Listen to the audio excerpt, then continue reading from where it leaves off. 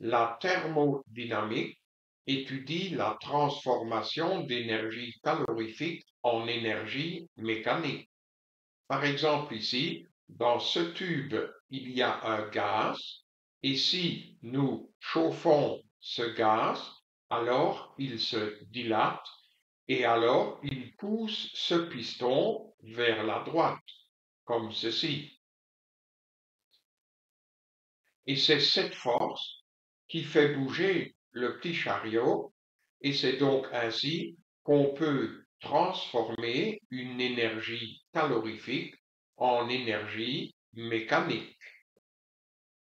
Mais ça va également dans l'autre sens, c'est-à-dire on peut aussi transformer de l'énergie mécanique en énergie calorifique. Par exemple, cette masse est tirée vers le bas grâce à sa force de pesanteur.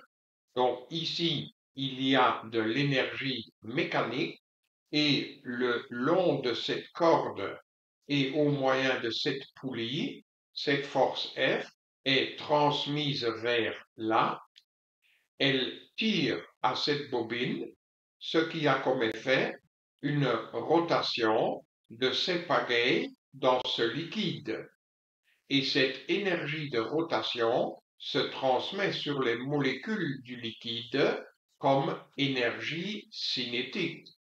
Et l'énergie cinétique des molécules du liquide est visible au moyen d'un thermomètre parce que cette énergie cinétique fait augmenter la température.